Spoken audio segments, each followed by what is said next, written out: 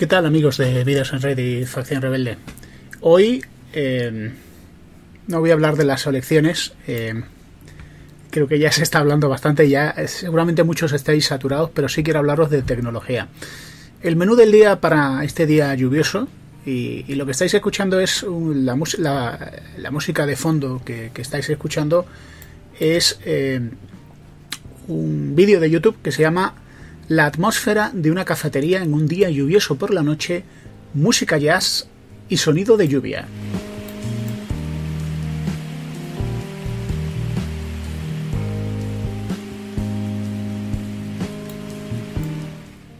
Y bueno, de lo que quiero hablaros hoy es de dos cositas. Primero, quiero hablaros de la Estación Espacial Internacional y de los ThinkPad, esas, máquinas maravillosas que desde Cacharreo Geek, eh, nuestro podcast hermano, tan, tan fans somos. Y por último, quiero hablaros de tablets para estudiantes y precios eh, interesantes. Tablets por 100 euros, menos de 100 euros o un poquitín más de, de 100 euros. Y bueno, lo primero es un tema que a mí me interesa mucho porque es que la Estación Espacial Internacional va a hacer, o ha hecho ya 20 años, me parece, me parece uno de los prodigios de, de, las, de los avances tecnológicos más interesantes que hay. Es decir, tenemos una pequeña base en órbita. Y esta base, pues, desde luego abre una serie de posibilidades a nivel científico increíbles, a nivel de experimentación, o a nivel de poner en práctica cómo sería la, vida en el espacio. Pero de lo que estuve investigando un poco es de qué ordenadores y qué tecnología se utiliza en la Estación Espacial Internacional. Y por ejemplo, los sistemas que controlan la Estación Espacial Internacional, presión de aire, en fin, un montón de cosas que están funcionando para que los astronautas puedan mantenerse con vida son tres computadoras. Tres computadoras que le llaman así, según la página de la NASA, de multiplexor, multiplexor de comando y control. Una computadora es rusa y las demás son estadounidenses. Y tienen unos procesadores Intel 8386 de 20 MHz.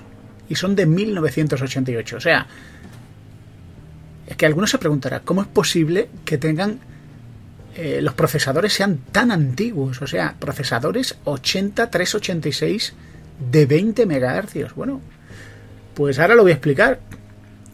Eh, ¿Sabéis esa máxima que dice si, si funciona no lo toques? Pues, pues eso es lo que aplican los científicos de la NASA. ¿no? Hay otras naves espaciales como la nave espacial New Horizons que, que recientemente pasó por Plutón y esa está impulsada, o sea, la CPU que, que pone eh, en marcha esa nave, pues es una Mungus V de 12 MHz. De 12 MHz, todavía menos potente que, que lo que mueve la Estación Espacial Internacional. Pero, a ver, alguno dirá, ¡ay, qué poco es! Bueno, es que es lo que necesitan, no necesitan más, ¿no? Eh, la pregunta es por qué eh, las naves espaciales eh, utilizan procesadores tan antiguos. Bueno, según las reglas de la NASA, no cualquier computadora puede ir al espacio. Básicamente lo que les preocupa a ellos es que las computadoras, las CPU, tienen que estar preparadas contra la radiación. Porque recordad que están en órbita, no disfrutan de nuestro escudo antirradiación. Si no están preparadas, esas computadoras empiezan a fallar debido a la radiación ionizante. Así que estos procesadores, que son procesadores específicamente personalizados para funcionar en esas condiciones, los someten a años de trabajo de diseño. Años de trabajo de diseño y eso es muy caro. Y luego los someten a años de trabajo en pruebas para tener la certificación que les permita ir a vuelos espaciales. Por cierto, la NASA espera que su procesador de uso general de la próxima generación sea una variante del ARM A53 que, quizá os suene por la Raspberry Pi 3. La Raspberry Pi, que muchos de nosotros tenemos porque es súper barato, pues esperan que, este, esta variante de la RMA53 esté listo para funcionar en el año 2020, o sea, este año, que ya queda poco, afortunadamente. Se puede encontrar también hardware más moderno en el espacio. Y hay portátiles, ¿eh? hay muchos portátiles en la Estación Espacial Internacional. Y uno de ellos es el ThinkPad T61P. El ThinkPad T61P de 2007 con, con Debian, la, también con una distribución de Linux que se llama Scientific Linux. O sea, se ve que hay una distribución que se llama Linux científico. Y también con Windows 7.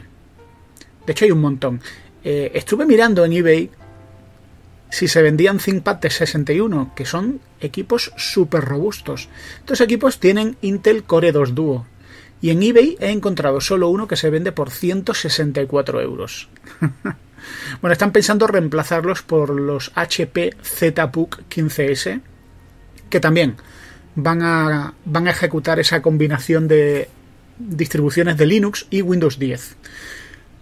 Los, los sistemas Linux los utilizan para conectarse remotamente al sistema de gestión de la Estación Espacial Internacional, mientras que los sistemas Windows, según la NASA, se utilizan para tres cosas, que son correo electrónico, Internet y recreación. Esto a mí me parece un poco humillante para Microsoft. Es decir, ¿para qué utilizan Windows en la Estación Espacial? ¿Para ver Netflix? para pasárselo bien, para ver sus pelis, escuchar su música, internet y correo electrónico. Hmm, interesante, ¿no? En, Reddit hay, hay, una cantidad de fotos enorme. De hecho, hay un hilo en Reddit sobre los ThinkPad y, y, fotos de ThinkPad en la Estación Espacial Internacional, ¿no? Algunos en los chistes dicen que claro que hay ThinkPad en la Estación Espacial Internacional porque eso sirven como escudo para todo, ¿no? O sea, son tan robustos los ThinkPad que si se rompen los pueden utilizar como placas para contener la radiación.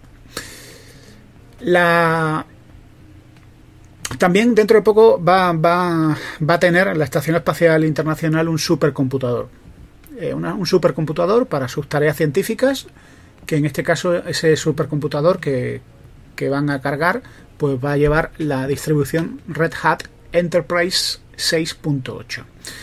En la página de IBM eh, hay una sección de historia donde hablan de, de los ThinkPad, ¿no?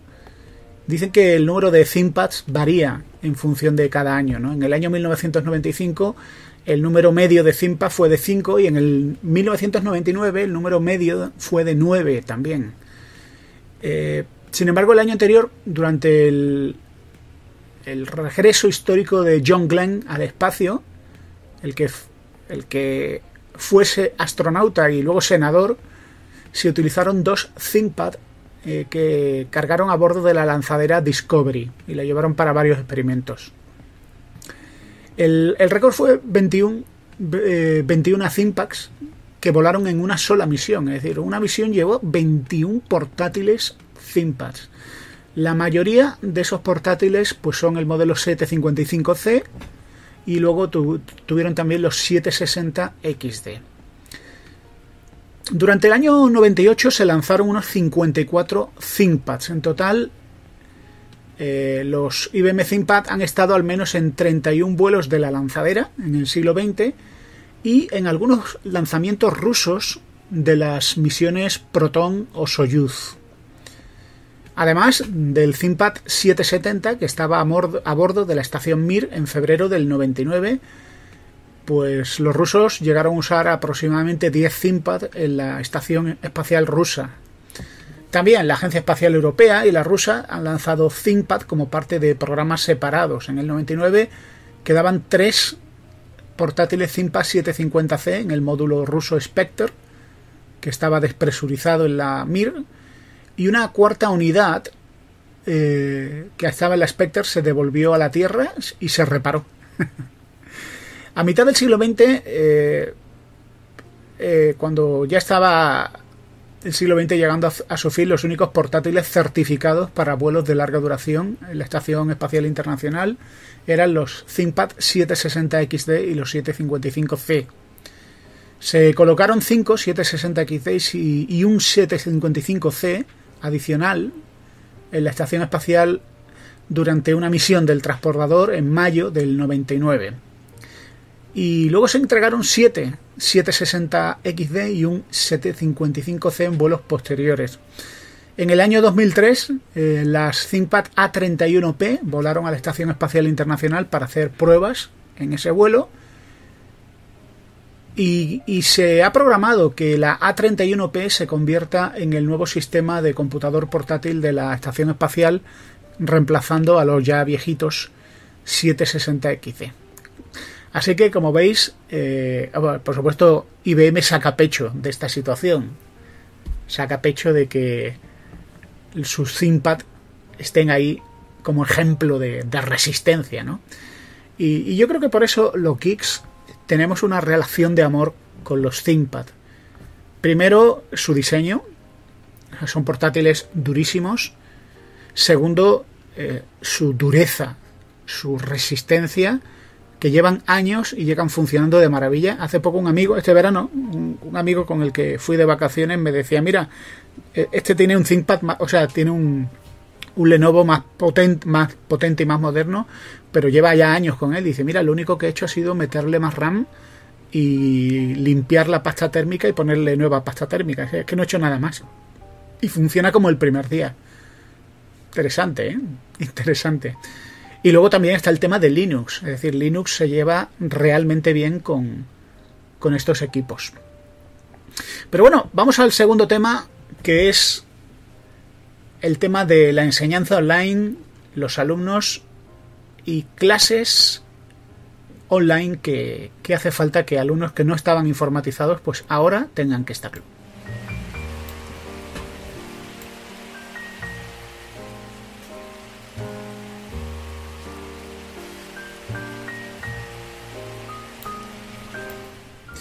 Bueno, todos sabéis que con esto de la pandemia iba a decir algo bueno de la pandemia, pero en fin, no sé si es demasiado atrevido decir algo bueno de.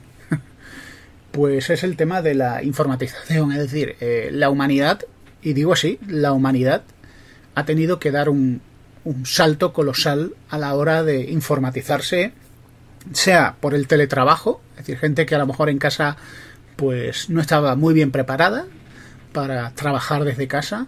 Nos hemos puesto a buscar herramientas. El 2020 ha sido el año de Zoom. Eh, de hecho, muchísimos utilizamos Zoom. El, otro día un amigo que trabaja en una fundación me decía, no, no, yo ya hoy llevo no sé cuántas reuniones de Zoom, me dijo.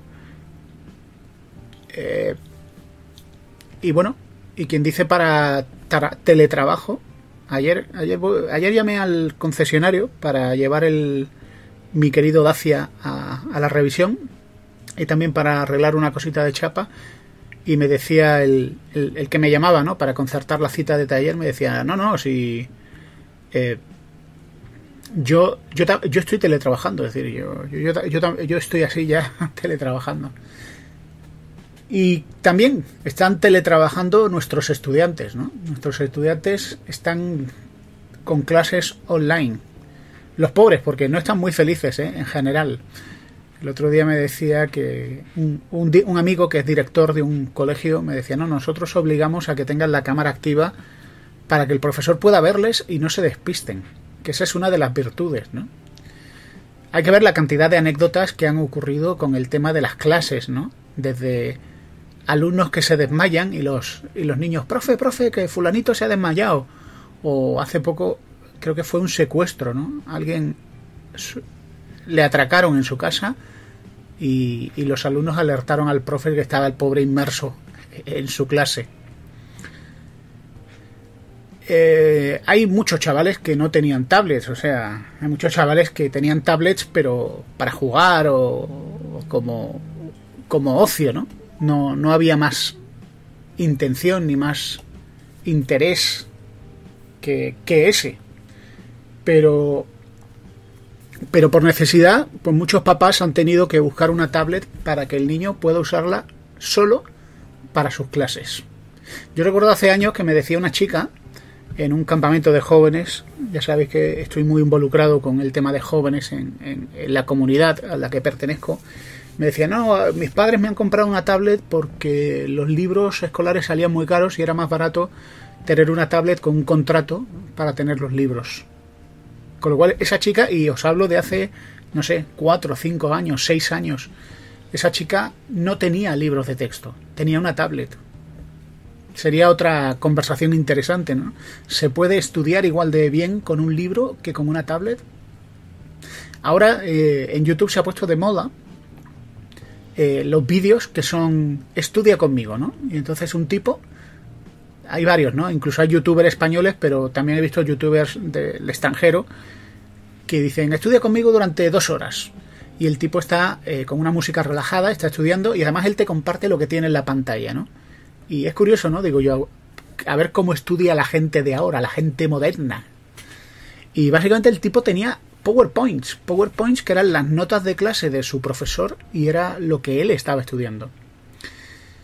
Eh, en una ONG de apadrinamiento de niños eh, con la que colaboramos desde hace ya muchos, muchos años, algunas veces cuando hago un directo me preguntáis, oye, converso, esa foto que tienes ahí de fondo de un niño, bueno, ese es uno de los niños que, tengo apadrinados, pues hoy me llegaba un correo electrónico de, la ONG diciendo, mira, eh, ahora con el tema del, del teletrabajo, muchos de los niños apadrinados, pues no tienen forma de acceder a las clases. Por lo visto, el gobierno de Colombia ha cambiado leyes para que los chicos que no tienen internet pues impulsar un poco el tema de internet e incluso ha estado ofreciendo tarjetas SIM de datos a precios reducidos. ¿Cuál es el problema? El problema es que puede que tengan internet, pero estos chicos que están en una situación pues muy frágil económicamente, pues no tienen una tablet. Aquí, fijaos, ¿eh? no hablamos de PC, ¿no? Podemos hablar de, hombre, comprar un PC que es barato. No, no, una tablet. Pues realmente lo que quieren es videoconferencia para que poder interactuar con el profesor y quizá para las notas, ¿no? O vídeos de apoyo. Eh, hace poco un, querido amigo que es testigo de Jehová y que ahora está en México, eh, pues me decía que la sucursal de los testigos de Jehová de Centroamérica hizo un convenio con UNEFON México, que pertenece a ATT, o como dicen ellos, ATT, para ofrecer internet ilimitado para el móvil al día por 20 pesos, unos 70 centavos de euro. Y hay algunos eh, testigos de Jehová que solo lo contratan los días de reunión. Esto es interesante porque igual que en el mundo educativo em, el tema de la tecnología es fundamental, en el mundo religioso también es fundamental. Es decir, yo soy cristiano evangélico, nosotros eh, hemos sido mucho más restrictivos con el tema de las reuniones que otras confesiones religiosas, como los católicos. ¿Por qué? A ver, esto no es ningún juicio de valores, simplemente que mientras hemos visto que algunas confesiones, pues, aplicando medidas de seguridad han tenido sus reuniones, nosotros hemos decidido no tenerlas, por consejo de los médicos y enfermeros que tenemos en, en la congregación. Así que todo lo hacemos por internet, que yo soy, por cierto, como no, el que me ocupo de, prepararlo junto con otros que colabora, con los que colaboro, ¿no? Y básicamente, en, el caso nuestro, usamos StreamYard y Zoom para emitir por YouTube. O por Zoom, pues para interactuar, ¿no? Interesante, ¿no? Es decir, a nivel de las confesiones religiosas, pues muchos nos hemos digitalizado y algunos lo han hecho a la fuerza, ¿no? Claro, ¿qué ocurre cuando es un país que donde la renta básica no se acerca ni de lejos a, la, de otros países más prósperos? Pues tienen que buscar soluciones, ¿no? Y así que los testigos de Jehová en México, pues, oye, han hecho un acuerdo que les permite pues tener sus reuniones y sus actividades online por un precio 20 pesos, ¿eh? 20 pesos, 70 centavos de euro. Bueno, pues eh, estaba leyendo un artículo sobre tablets por menos de 100 euros en, un medio muy conocido y no me gustó mucho el artículo que estaba leyendo, ¿no? Así que eh, os he hecho una selección de tablets por 100 euros que podrían utilizar vuestros hijos para sus clases online. En algunos casos son tablets que son bastante más baratas de 100 euros y en otros casos son tablets que son un poquito más caras. Pero a diferencia del artículo que, encontré en el medio, pues casi todas las, las marcas de tablet que os voy a decir son marcas conocidas y en algunos casos marcas pues desde mi punto de vista bastante premium, ¿no? O por lo menos de cierta solvencia. La idea es pues bueno, que podáis tener opciones de tablet a buen precio, ¿no? El otro día un amigo me decía que, que tenían una tablet en su familia y todos compartían la tablet, pero, pero que necesitaban una tablet pues, pues para sus contenidos y para navegar, ¿no? Y se compraron una Kindle, ¿no? Y estaban todos encantados con la Kindle, ¿no? Bueno, pues el primer el primer, pero no la primera posición, pero sí una de las primeras es la Huawei MatePad T8. Huawei MatePad T8. Es una tablet que tiene 8 pulgadas, 2 GB de, RAM, 16 GB de, de ROM y un procesador de 8 núcleos. Eh, esta tablet tiene un precio de 94,90 y además aquellos que tengáis Prime está incluida dentro de, los precios. La Huawei MatePad 8. De todas formas, en las notas del podcast os, he dejado los enlaces. ¿eh? Así que tenéis los enlaces en las notas del podcast. La otra, también de Huawei, es la MediaPad T3. La Huawei MediaPad T3. Esta es una oferta flash. O sea que yo no sé cuánto va a durar. Si alguno me dice, oye, pues yo ya no lo encontrado ese precio, pues has tardado mucho en buscarla. Esta es una tablet mm, más grande, ¿eh? Son casi 10 pulgadas, IPS, Wi-Fi, procesador de 4 núcleos, Snapdragon 425, 2 GB de RAM y 16 GB de ROM, Android 7 y, y para mí me parece una mejor opción por el tamaño, una pantalla más grande. Luego tenéis la Teclast. La Teclast hasta hace poco era una marca de estas marginal, pero mira tú por dónde. Eh, se está haciendo un hueco la Teclas 4G. Este es un modelo de, de 119 euros. Se nos va un poquito de precio. Tiene 10 pulgadas. Es la Teclas P20. La Teclas P20. Esto me lo voy a poner aquí porque en las notas no lo he puesto. Y lo interesante es que tiene 4G. Con lo cual, pues mira, es una opción, ¿no? La tecla es P20. Me gustan mucho las Kindle, la Kindle Fire 7, con un precio de 84,99, modelo de 16 GB, el más básico. Pues yo he tenido la ocasión de probar una Kindle Fire, que luego se la vendía a un oyente de Vidas en Red que pude conocer en persona. Vino a mi oficina para comprarme la Kindle. Y la Kindle Fire, pues me parecen tablets que, siendo tablets con unas especificaciones que no son el último grito, pero están muy optimizadas. Eso sí, debes de tener en cuenta que solo vas a poder utilizar la tienda de aplicaciones de Amazon. Aunque hay forma, hay forma de, de meterle la tienda de aplicaciones de Google. Y hay tutoriales, los que quieras. Por último, la GoodTel G2. Esta sí es una marca un poquito menos conocida, aunque algunas páginas web la recomiendan, la GoodTel G2. Tiene un precio de 89 euros, son 10 pulgadas, Android 9, 4 núcleos, 3 GB de RAM, que ya es un poquito más de RAM, 32 GB de almacenamiento, tiene Dual SIM y 8000 mAh de batería. No está mal. Es una opción también interesante, pero eso sí, de una marca menos conocida. Así que bueno amigos, no sé qué nos deparará el 2021, pero sí os digo una cosa, que, que este tipo de cambios ya van a ser cambios permanentes. Y yo, yo quiero pensar que la humanidad eh, va a aprender de sus errores.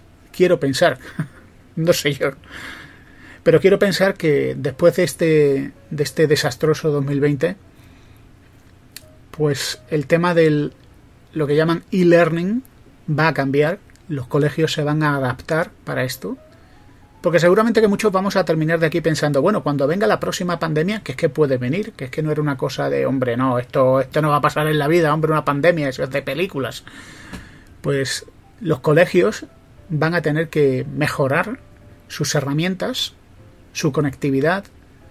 Los papás van a tomarse en serio o van a hacer esfuerzos adicionales para que sus hijos tengan medios para este tipo de contingencias. Y a nivel laboral, pues muchas empresas pues van a empezar a, a tener planes para poder eh, en un momento dado reorganizarse y que sus empleados puedan teletrabajar sin que la productividad merme, ¿no?